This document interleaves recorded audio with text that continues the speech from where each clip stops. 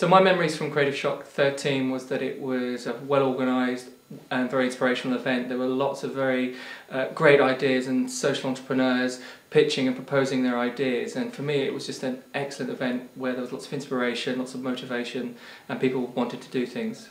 I think the value of uh, a competition like Creative Shock is that it puts you on a little bit of pressure and helps you think through about creative ways to come up with social uh, with solutions to social problems.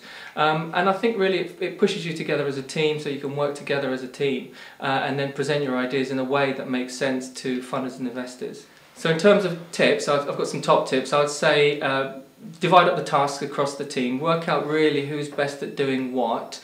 Um, divide up the task, have a plan, work out what you're going to do at certain times. I say divide those activities and make sure you stick to that plan. So that would be one of my top tips. Get involved in Creative Shock 2014. It's a wonderful competition. It gives you real world, real case studies to work through. It puts you under really real pressure, which is what you'd, you'd expect to have to go through in the real world.